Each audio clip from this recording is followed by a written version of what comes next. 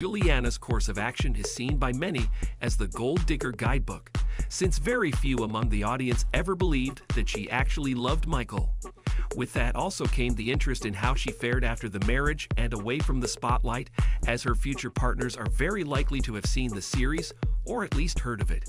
meaning they'd be well aware of Juliana's true intentions and thus less likely to fall prey to her supposed charm. So the question